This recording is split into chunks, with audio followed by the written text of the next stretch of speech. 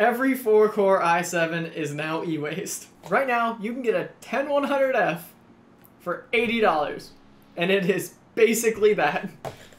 It is a 4-core, 8-thread i7 for $80. Another thing you should remember is there is a 10105F running around. So it's was slightly updated halfway through the year. It's crap. Don't worry about it. It's seven dollars more than this, and at seven dollars more, it's nearly ten percent. And all it does is upclock about 100 megahertz. You're not gonna notice that, and especially for 10% more, seven dollars more. Just buy the cheap 10100F, and you're good to go. Yes, being an F SKU, you will need to buy a dedicated graphics card, but luckily, those are coming back in stock too. Don't bother getting a different cooler for this. At 65 watts, the Intel stock cooler is perfectly fine for it, and any money that you spend on a better cooler is completely wasted. It's not going to perform any better. If it does, it's going to be minuscule, and it's not worth more than $20 that you're going to spend on a Hyper 212 Evo. If you want to put a Hyper 212 Evo or a 360mm cooler, that's on you, but it's not going to perform that much or any better. Don't worry about the fact that Intel kneecapped its ability to overclock RAM. Don't worry about it. It's $80. Who cares? Just slap some RAM in that bad boy and off to the races. 2666? Who cares? It might sound like I'm joking about this, but it's honestly hilarious. Like, $80 for this much performance is unheard of. A, what, a Ryzen 3 3100 from just a year ago was $100 and that can't even touch this bad boy.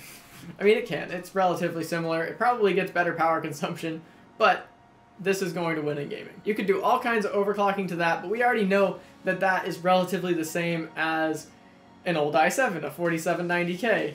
Overclocked and everything, they, they still perform relatively similar, but this is just a little bit better. And at $80, complete steal. So in case you're wondering, I did run benches of this versus a 6700K clocked at 4.3 gigahertz because that's as high as it boosts anyway. And weirdly enough, when I enabled the XMP, it just broke its ability to boost on its own. And honestly, as far as I can tell, they're the same. Within 100 points on Cinebench R23, within 10 FPS in almost every game I tested except for Red Dead Redemption 2, where I think the fixed clock speed might have helped the 6700K.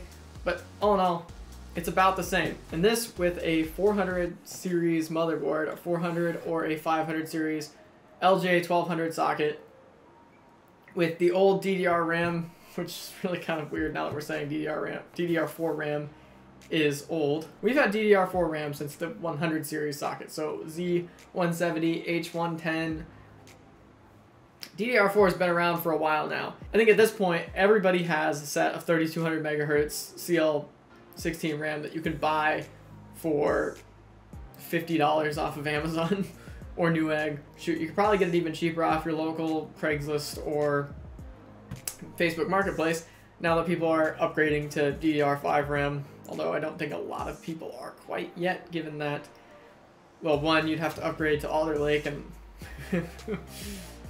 There's some people who want to do that, but waiting until AMD 7000 series seems like the way to go, especially given that DDR5 RAM is really expensive right now. Not to mention that if you did want to buy a Z400 or 500 series motherboards, they aren't that expensive comparatively speaking. Yes, they are more expensive than a i3 at $80, but you can upgrade all the way up to a 10 core i9, 10850K, 10900, 10900K, 10900KF, you know, the, the big boys, the big dogs that are honestly a great deal on their own. Like, 10850K is only $300, which is quite a lot of CPU for $300. There's so many more CPUs that you can plug into any one of those 400 series boards, and even if your RAM isn't overclockable, if you only spent $500 on the RAM, 500 if you only spent $50 on the RAM anyway,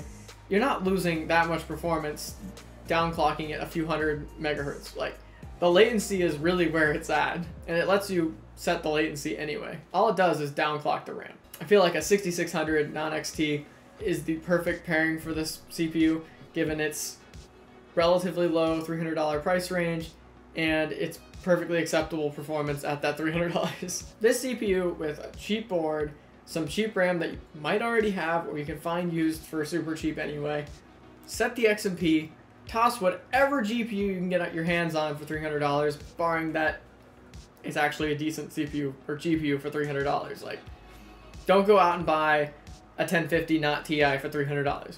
Go find yourself a 1070 Ti, a 1070, maybe even a 6 gigabyte 1060 because those cards are still relatively good.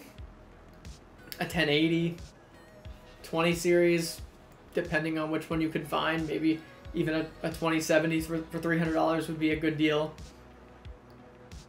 And then, of course, you have your 30 series cards, which are brand new. You can get them with a warranty for less than or about 300 to $400.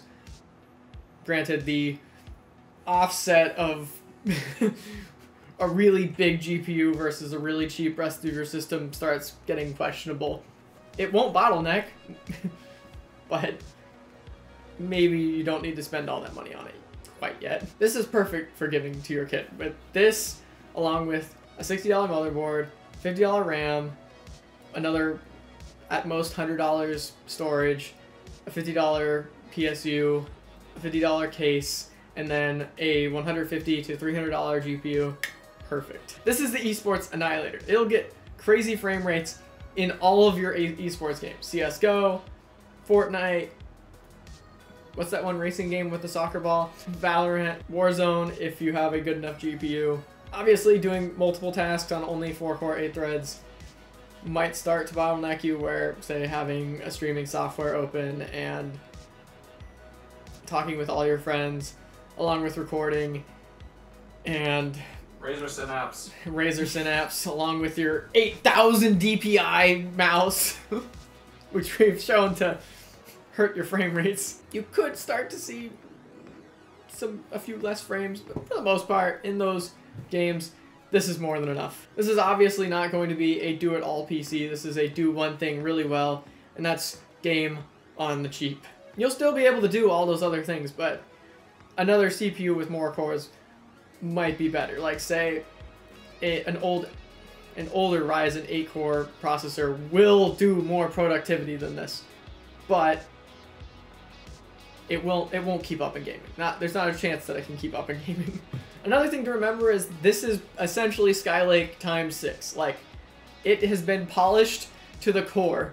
It if there's one thing Intel knows better than anything, it's building Skylake and they work. They just work. Early Ryzen, you're gonna have your teething issues. You're gonna have that random USB disconnect sound and not know what just disconnected from your system. But with this, it's just gonna work. It's gonna be beautiful. It's gonna run slightly hotter than you expect. They finally started soldering instead of putting Intel brand toothpaste on them, but it's just gonna work. And at $80, it's I can't not recommend it. So if this video has been incredibly confusing to you, go ahead and let us know in the comments. If you want to yell at me for being confusing, join our Discord. Get subscribed for future confusing processor videos. And like always, I'll see you next time.